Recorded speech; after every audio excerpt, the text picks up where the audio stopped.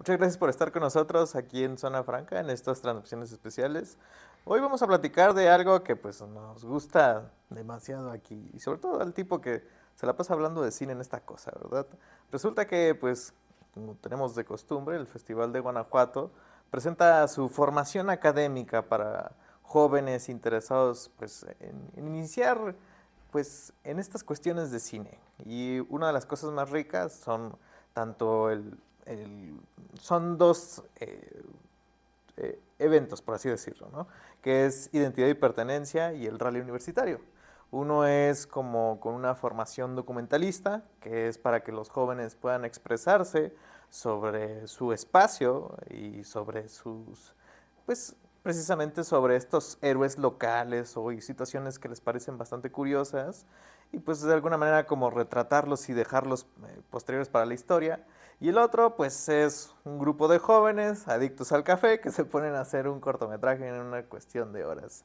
Estoy aquí con los muchachos del Festival de Guanajuato, que también yo, los conozco, que es Pilar, Roy y Rosy. ¿Cómo están? Hola. Hola Deus, muy bien, muchas gracias, muchas gracias por el espacio y pues vamos a platicar un poquito de, de lo que viene para los proyectos de formación GIF, identidad y rally este año. Sí, de hecho, pues es el primer GIF que es posterior a la pandemia. ¿Cómo ha sido la respuesta a comparación de la, anterior?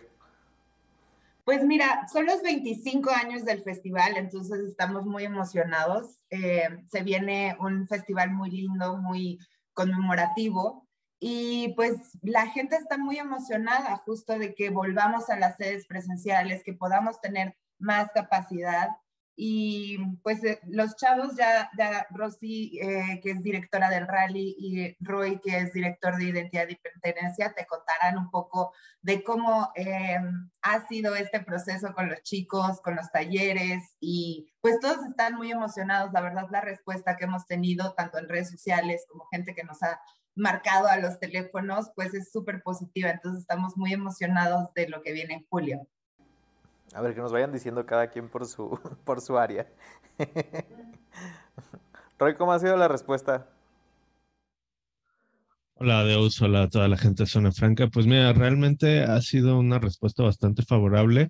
Lo que en un principio parecía una piedra en el camino, el hecho de estar eh, de manera híbrida, de manera únicamente online al principio, pues bueno, se ha, se ha quedado ya, ha llegado para quedarse esta manera de impartir algunos talleres, que los chicos este, pues bueno, a veces les costaba un poco de trabajo estar en la universidad así y luego también en el taller, pero bueno, ya es un estilo de vida que muchos hemos este, adoptado y pues ahorita nos abre también muchas puertas. Había ah, ocasiones que ciertos talleristas pues tenían una agenda un poco más apretada y bueno, con estas modalidades pues ya también se presta a que ellos puedan estar con los chicos conviviendo, puedan dar este seguimiento a sus proyectos y pues así llevarlos a buen término. Pues de hecho lo recuerdo, ¿no? Generalmente antes eran presenciales en San Miguel y los muchachos a veces tenían que viajar desde Uriangato, de Guanajuato, de Leona, constantemente, ¿no? Y ahorita pues ya pues con la facilidad de las, de las conferencias, mientras uno no traiga filtro de gato, ¿verdad? de hecho, seguimos haciendo este esta dualidad, lo, online y también lo presencial. Hay talleres que, como tú sabes, pues, no se pueden dar de, de, manera virtual, como es el caso, por ejemplo, e, este fin de semana justamente tenemos sonido directo impartido por el buen Galileo Galas. Entonces, pues es un taller que es vaya 80% práctico, 20% teórico, entonces esa clase de talleres estamos tomando todas las medidas aún este, con todos los refuerzos que ya existen en las vacunas y todo ello. Pues bueno, seguimos cuidando a los chicos, seguimos este, manteniendo estos protocolos, pero siempre y cuando lo que nos interesa aquí en Formación GIF es que este semillero de, jóvenes realizadores, de cineastas, pues bueno, siga dando frutos y que aprendan de los mejores. ¿Y tú, Rosy, cómo has visto también la respuesta con tus muchachos? Pues mira, la verdad es una experiencia muy padre que aquí en el festival estoy viviendo por primera vez, me estoy uniendo a este proyecto. Eh, en esta edición, las seis universidades que nos están apoyando, comenzamos, por ejemplo, con la Universidad Autónoma de Baja California, que está en Mexicali. Ellos traen el proyecto de Días de Paz. Los chicos llegan hoy justo, vuelan cuatro jóvenes que se van a reunir aquí en Casa Rally, ya la denominamos así. Este, porque también están los chicos de Aguascalientes de la Autónoma con su cortometraje La Huésped. Llega también Nayarit con su cortometraje El Milagro, que son de la Autónoma. Tenemos también a los chicos del Estado de México, de la Universidad Autónoma, que es eh, su cortometraje denominado Antigüedades Mau. Tenemos la Universidad de Celaya, que son los que nos representan aquí en el Estado, con su cortometraje Cuando te toca. Y finalmente tenemos con la Universidad Autónoma de Querétaro su cortometraje Un día de mentiras. Entonces ya desde ayer ya empezamos así a aprovechar, juntarnos los que ya llegaron, revisando cosas técnicas, cosas para el taller, Incluso aprovecharon para empezar a hacer scouting aquí en la ciudad de San Miguel Allende, esperando este, ahora sí que retomar estas actividades y tener eh, ahora sí que toda esta preparación para que una vez que ya pues, estén listos, llegue la fecha, puedan hacer lo que es su producción durante 48 horas. Qué curioso, que realmente no, no había escuchado o no recuerdo en una ocasión en donde solamente había como un, un equipo pues regional, ¿no? Casi todos ya son externos. Sí, de Rally Universitario es este, una convocatoria de producción de cortometrajes de ciencia ficción a nivel nacional. De ciencia ficción. o ficción, más bien. Digo, no, me quejaría, estaría muy padre. Isroy, ¿cómo está la selección de suyos? Para los 50 ya nos aventamos el rally de ciencia ficción, producción virtual, efectos especiales. Pues ¿no viste cómo filmaron la nueva de Batman? Que casi todas las locaciones ya son con pantalla digital. Sí, sí, sí, sí. Estamos casi a eso, ¿eh? Exacto. Ya, vamos, vamos que volamos. ¿Cómo está la selección tuya, Roy? Bueno, en esta ocasión este, volvemos a tener cuatro equipos participantes. Eh, uno de ellos es el Cielo de Tradición, dirigido por José Eduardo Medrano Gómez. Ellos son participantes de la Universidad Tecnológica del Suroeste de Guanajuato. Eh, su universidad se encuentra en Valle de Santiago, pero su historia va a ser grabada en, en Uriangato. Esta historia habla un poco de un personaje que tuvo complicaciones con, con ciertas adicciones y retomó este, bueno, se alejó de estas adicciones gracias a la elaboración de globos de Cantoya. Entonces es, es un documental que promete mucho también a, a, nivel visual. Este, por otro lado, tenemos el arte charro del Instituto Irapuato, dirigido por Sara Elisa Torres, y habla de la talabar perdón, talabartería, gracias, exactamente, eh, específicamente pues en la charrería en, en, el estado de Guanajuato, ¿no? Habla de una familia que lleva más de 30 años haciendo talabartería para la charrería en específico. Y también tenemos a Mujeres de Piel, que ellos son de la Universidad de La Salle Bajío, dirigido por Estefanía Montserrat Ramos Campos, y habla la historia de una mujer que toda su familia durante toda su vida se han dedicado a la elaboración y venta del zapato en León, teniendo negocios físicos. Y bueno, ella se sale un poco de, este, digamos, núcleo uh, de ventas familiar y ella empieza a a moverse más por redes sociales, por el Internet, y vemos ahí un poco como el brinco generacional en, esta actividad específicamente. Y por último tenemos a Ritmos de Raíces, que buscan, eh, como su nombre lo dice, por medio de la música este, prehispánica, eh, digamos, desenterrar un poco las raíces que nos dan identidad como guanajuatenses. Ellos son dirigidos por Pedro Emanuel Castellanos Andrade y pertenecen también a la Universidad de La Salle Bajío. Ahorita, de, de, hecho, tanto identidad y pertenencia están con la y rally están con la cuestión de recaudación de, para el proyecto o ya no se hace eso. Sí, están por comenzar sus campañas de, de Kickstarter.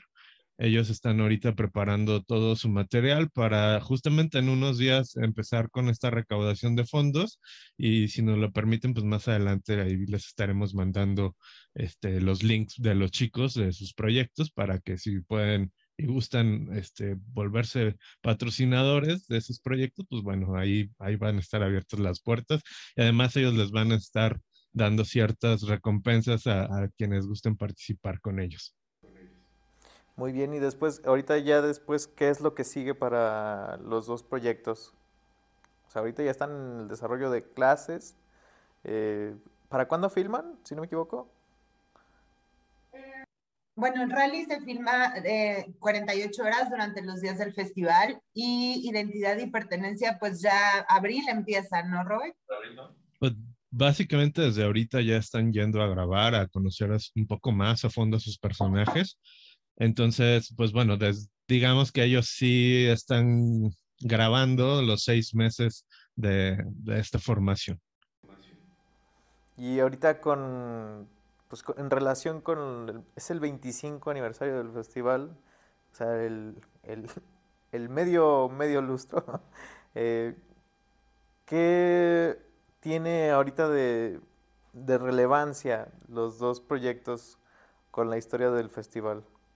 Pues bueno, creo que como sabes, el festival siempre se ha caracterizado desde que inició como expresión en corto, como esta plataforma para los jóvenes cineastas, ¿no? Em, el otro día platicando con mis compañeros, con Roy y con Rosy, justo decíamos eso, que es súper padre que los chavos, o sea, que conocemos cineastas en identidad y pertenencia o en rally, que bueno, estos proyectos ya llevan 13 y 12 años. Em, y después los vemos ya en la selección oficial o nos encontramos en algún festival y ves ese crecimiento, ¿no? Y al final a lo mejor era un chavo que estaba estudiando enfermería y terminó siendo cineasta, ¿sabes? Porque un día se le ocurrió contar la historia de su abuelo que eh, vive con su abuela desde hace 40 años, bueno, no sé, muchísimos años, ¿no? Entonces, em, la parte de formación, de educación a los jóvenes, del fomento a la industria cinematográfica siempre ha sido un pilar para el festival y, y es súper importante pues seguir impulsando esto, ¿no? Seguir impulsando a que los jóvenes tengan estas oportunidades de ver lo que es una producción de verdad, ¿no? Así como de ahí están tus fierros y ponte a grabar y, y vamos a arreglar todo en edición y si no sale, pues te regresas a grabar, ¿no? O sea, yo creo que toda esa experiencia es súper enriquecedora y también ayuda a que los mismos chavos contagien esta pasión por crear cosas y por contar sus historias y por detenerse un yo creo que eso nos hace falta mucho, ¿no? Detenernos un momento como para observar lo que está a nuestro alrededor y a partir de eso decir, ok, lo que está a mi alrededor, ¿qué influye en mí? ¿Qué provoca y qué puedo hacer para, cambiarlo, ¿no? O, o dejarlo igual, dependiendo tu reflexión. No, y, agregando un poquito eso que dice Pili, que sucede mucho en identidad y pertenencia, que muchas veces no nos damos cuenta que nuestra cotidianidad no es la misma para Rosy, para Pilar o para Deus. O sea, cada quien vive en un entorno, pues pareciera muy similar, pero es completamente distinto. Y entonces, este, esa como decía Pilar, esta percepción de nuestro entorno a los chicos de identidad y pertenencia, sobre todo con, con la pandemia, pues bueno, los ayudó a realmente observar ese entorno y pues les dio un poquito más de colmillo ahí en el documental. Sí, como que los vuelve más, más filosos, ¿no? De, de agudizar su mente y de, de estar pensando qué historia vale la pena y cómo contarla. Exacto. Pues bueno, ¿qué más nos pueden decir ahorita? Pues que estén atentos a nuestra página, que sigan nuestras redes, www.gifmx, gifmx en Twitter, Instagram y Facebook. Eh, muy pronto estaremos anunciando eh, pues más información, más de las actividades que estaremos haciendo y los invitamos a todos a que nos acompañen del 21 al 31 de julio en León, San Miguel de Allende e Irapuato porque pues vamos a celebrar los 25, queremos celebrar juntos y igual si tienen fotos así de que ah, tú Deus seguramente así que mira mi primer festival en el 98. Oye, oye, tampoco. Bueno, en el 2003, 4, eh, mándenoslo porque eh, pues también queremos como hacer todo un gran archivo de cómo la gente ha vivido el festival, ¿no? Como para contar su historia. Sí, de, hecho es, Es una de las cosas más queridas de, dentro del estado, el Festival de Guanajuato, porque precisamente es muy noble el acercamiento que se le hace para los jóvenes para querer hacer cine y también para acercarse a cine. O sea, de hecho, digo, mi formación siempre ha sido como en la cuestión crítica y de hecho lo que a mí me gustaría es como buscar a sus jóvenes, tanto de rally como de identidad de pertenencia, cuando puedan y pues aquí que nos vengan a practicar de sus proyectos. Y pues también de una vez me los robo y platicamos de una película que les guste. ya ven que, que no le hago eso, ¿verdad? Por supuesto. Padrísimo. Pues bueno, muchas gracias. Eh, ¿Nos pueden recordar sus redes? Claro, GIF, G-I-F-F-M-X, en Instagram, Guanajuato International Film Festival en Facebook o igual GIF MX. Y en Twitter igual, GIFMX y www.gif.mx. Está fácil, está sencillo. ¿No hay, ¿No hay división para los proyectos de identidad y pertenencia y para el rally? O sea, todo se maneja por la del GIF. Sí, y de hecho cada proyecto, eh, tanto de identidad como de rally, tienen sus propias páginas. Entonces, eh, nosotros dentro de, del- de la página de festival estamos compartiendo la información de los chicos, pero también estaría muy padre como que también apoyen a ellos directamente, ¿no? A hacer crecer su plataforma. Sí, pues sí, para, para darlos a conocer. Muchas gracias, Pilar. Muchas gracias, Roy. Muchas gracias, Rosy. Bonito viernes. Igualmente, gracias a ustedes, Deos, y nos vemos pronto. Ya, va, ya nos vamos a ver. Ya falta un poquito. Muchas gracias por estar aquí con nosotros en Zona Franca. Eh, no se olviden de checar la cartelera cultural. Aquí están mis redes sociales. No sé dónde la van a poner. Nos vemos.